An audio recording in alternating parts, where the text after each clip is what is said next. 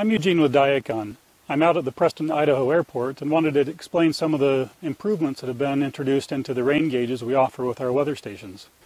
The original rain gauge we shipped with our weather stations was the RGTB6. It's been an exceptional performer, has a 20 centimeter orifice, has key slots for the screws so when you take off the top you don't have any loose items. We have a bullseye level inside, a chrome plated tipping bucket, ported uh, discharge port so you can capture the rain to do measurements later. All in all, it's been an exceptional rain gauge. It has been free from any field anomalies or problems such as insect intrusion. The newer version of the RGTB6 is, has an identical top. Still retains the debris screen which just pushes out and uh, can be easily cleaned in the field without tools. But the main changes have been made with the base. You'll notice there's a, an increased height of the protective wall around the tipping bucket. We have a, a uh, Teflon impregnated tipping bucket instead of chrome plated.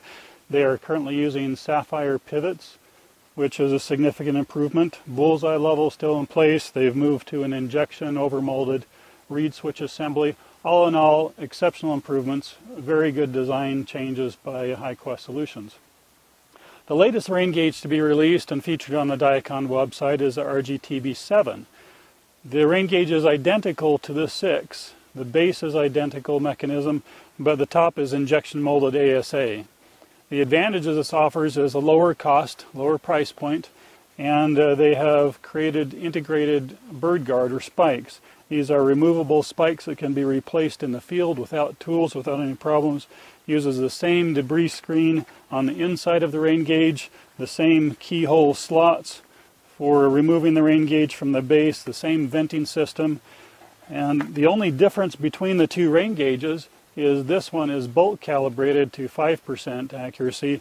This one is individually calibrated for about 2% accuracy depending on the rain rate.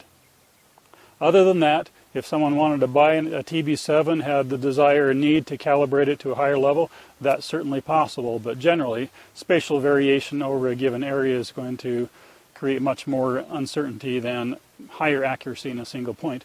Look for the TB7, the TB6 on our websites, and uh, we'd like to hear from you. Thank you.